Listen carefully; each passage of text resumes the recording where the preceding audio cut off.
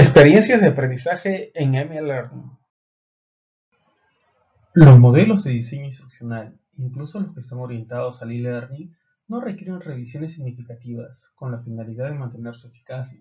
Sin embargo, con el M-Learning, los métodos y paradigmas de enseñanza tradicionales no pueden usarse exclusivamente sin incorporar un nuevo pensamiento aplicado a ese contexto.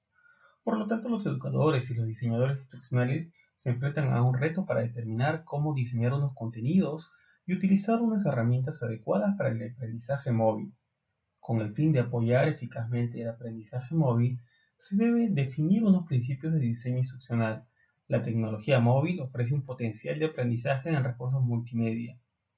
El M-Learning debe aprovechar los formatos multimedia como videos, audio, animaciones, actividades interactivas, etc.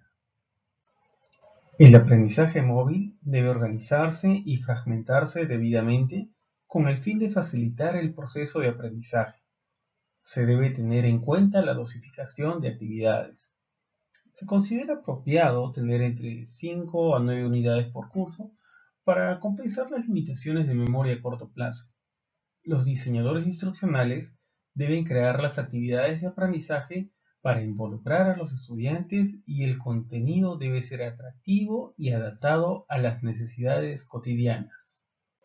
Uno de los componentes clave de cualquier curso online, cuya finalidad sea la mejora continua, es la evaluación y learning un escalón imprescindible en cualquier proceso de aprendizaje para determinar la calidad y eficiencia del mismo. Sin embargo, la evaluación de un curso no es un mero testigo de si se han superado o no los requisitos formativos. Esto está mucho más allá de una puntuación final. Los procesos de evaluación también son el resultado del esfuerzo de aprendizaje que el alumno ha realizado, que en muchos casos no es poco. ¿Qué diferencias encuentras entre el e-learning, el m-learning y las clases tradicionales? Los distintos contenidos, actividades y formas de evaluar en el aula virtual permiten que el estudiante pueda comprender con mayor facilidad los temas en cada asignatura virtual. Es muy importante que todos estén vinculados y sean potenciados de acuerdo a los temas tratados. Esto con el fin de que el estudiante puede ejercitar sus conocimientos y, de ser posibles, ponerlos en práctica por medio de alguna u otra actividad que sea planteada a través de su aula virtual.